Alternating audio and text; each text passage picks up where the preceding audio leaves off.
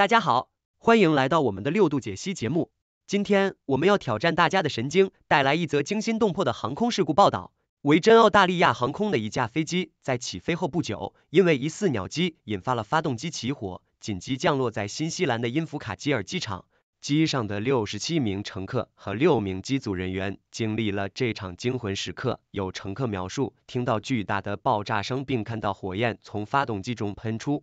机长迅速应对，把飞机安全降落，幸好没有人受伤。机场首席执行官表示，这次事件可能是由鸟击引起，目前还需要进一步调查。请大家继续收看详细内容。天字飞机烤鸭，维珍澳大利亚航空的惊魂飞行。卫报报道，一次普通的飞行变成了一场惊险万分的惊魂记。当维珍澳大利亚航空的一架波音七百三十七杠八百准备从新西兰皇后镇飞往墨尔本时，没有人预料到这趟旅程会如此火爆。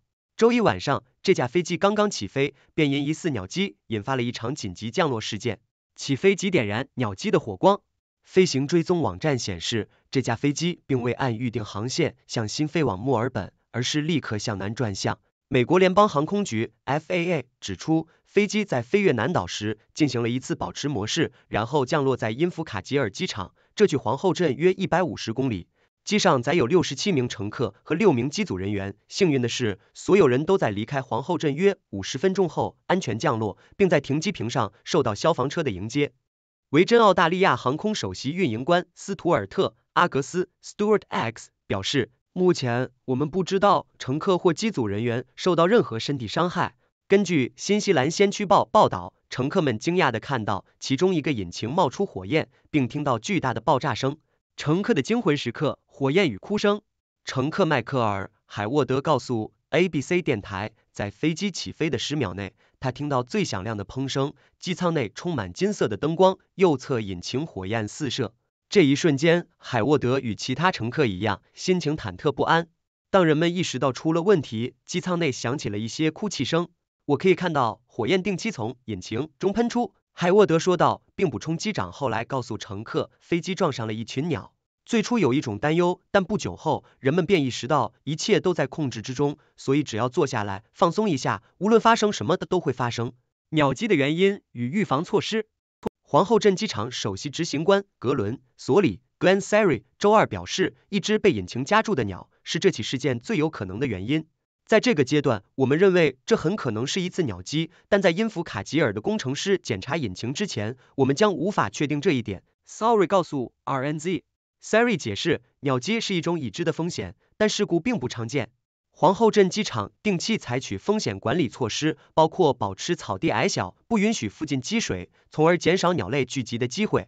如果你把一只更大的鸟吸入引擎中，这看起来可能是在这种情况下发生的事情，那么取决于它在引擎中的位置，它可能会损坏关键部件。Siri 补充道，在飞机起飞前两分钟，检查了跑道，没有记录到鸟类活动。飞机备案，但引擎运行与安全着陆。虽然飞机遇到鸟击导致引擎起火，但波音七百三十七杠八百设计上能够使用一台引擎运行和降落。然而，这次紧急情况促使维珍澳大利亚航空航班根据预先确定的安全路线，避开附近山脉，转向因弗卡吉尔机场。皇后镇机场发表声明，确认该航班起飞后出现问题，并被转移到因弗卡吉尔。乘客在因弗卡吉尔过夜，然后被送回皇后镇机场。预计他们将于周二预定飞往澳大利亚的替代航班。鸟击频率不常见，但不可忽视。根据新西兰航空监管机构的数据，新西兰机场的鸟击事件并不频繁，每一万架飞机中约有四架会遭遇鸟击。虽然这一数据看似不高，但对于飞行安全来说，预防鸟击的措施仍然至关重要。飞行结语：惊险中的幸运。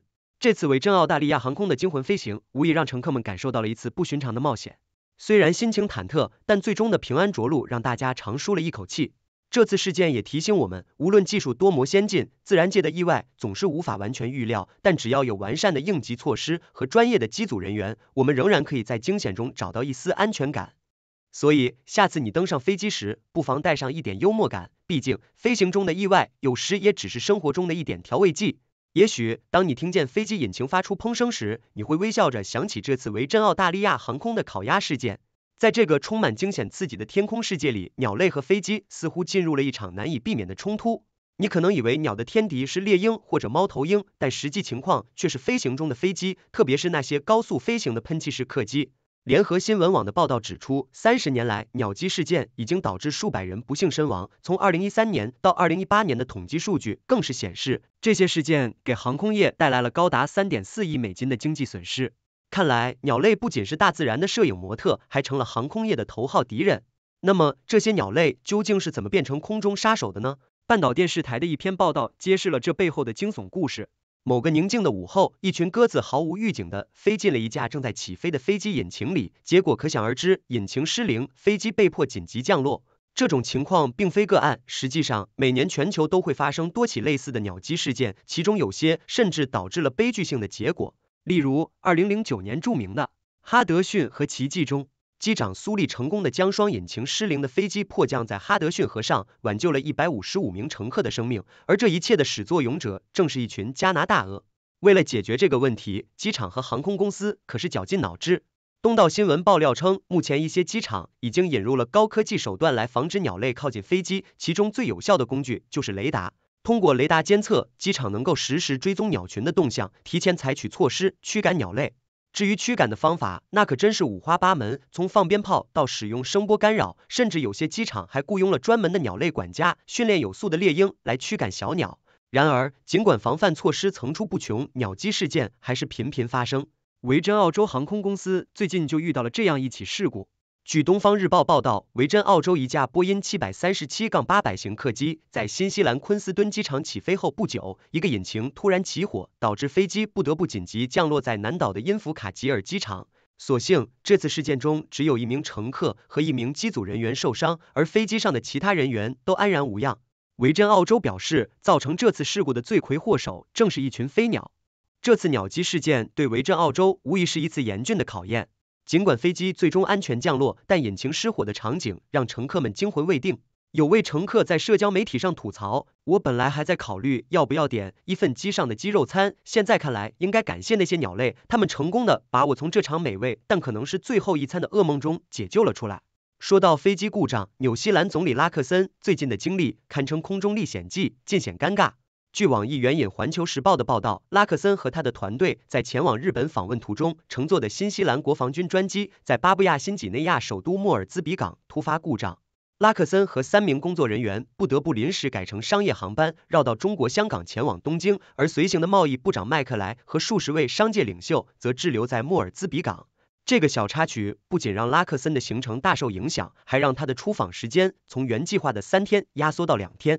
根据报道，这架问题多多的波音757飞机已有三十多年的高龄。这次故障是因为保险丝熔断，飞机只能飞往距离较近的澳大利亚布里斯班进行修理。英国卫报报道称，这已经是拉克森担任总理后三个月内专机第二次发生故障。上一次是在今年三月，拉克森本来要前往墨尔本参加澳大利亚东盟特别峰会，结果也是因为专机故障，最后不得不改成商业航班。面对这一连串的尴尬事件，新西兰国防部长朱迪斯·科林斯在采访中表示，持续出现的飞行问题确实令人尴尬。国防部正在考虑从现在开始让总理乘坐商业航班出访。看来，专机虽然看起来高大上，但老旧的装备带来的尴尬可是真实的。不仅如此，新西兰国防军还面临着装备老化和人力短缺的困境。据新西兰先驱报报道，新西兰目前正经历严重的经济衰退，在民众生活困难的时期，政府很难花费巨资购买新飞机，这也让人不禁感叹，即使是总理也要共患难啊。总结下来，天空虽广，鸟和飞机却不得不在这有限的空间里共舞一曲。这场空中的战斗每天都在上演，机场、航空公司，甚至是国家领导人都在这场舞蹈中寻找平衡点。从高科技的雷达监测到猎鹰驱赶，从紧急迫降到临时改成商业航班，每一个故事都显示了人类在面对不可预测的自然力量时所展现的智慧和应变能力。希望未来我们能够找到更好的解决方案，让鸟自由翱翔，而飞机则安全飞行，真正实现人与自然的和谐共存。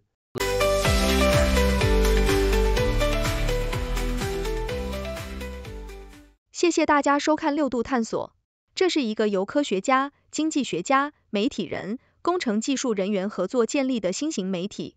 网友与六度 AI 参与合作完成各种内容，这些内容不能作为任何决策或法律的意见。这是一个新型的试验性媒体方式，我们希望得到大家的支持，修正错误。